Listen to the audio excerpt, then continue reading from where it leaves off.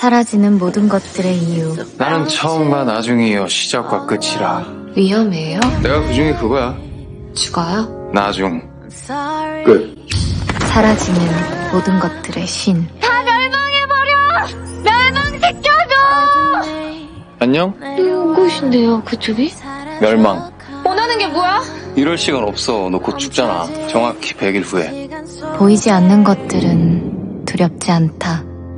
보이기 시작한 순간 두려움은 실체가 된다.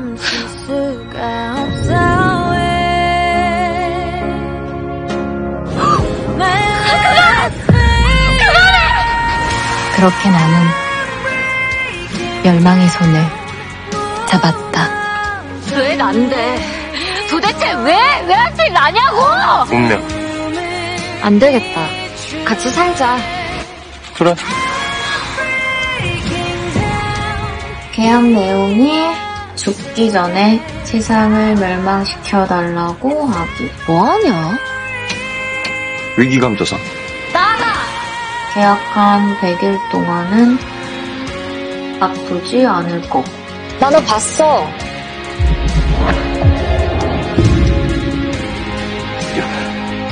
너 울고 있었잖아. 진짜 소원 하나 들어주기. 너 같은 존재들은 인간들을 가엽게 여기던데. 특히 나 같은 인간은.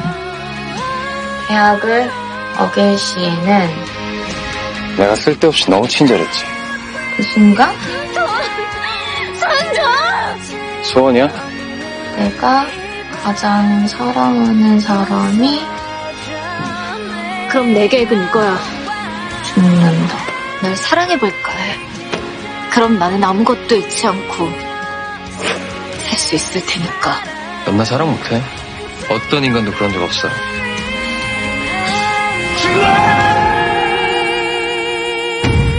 모든 날 원망하거나 원하지. 사랑하지 않아.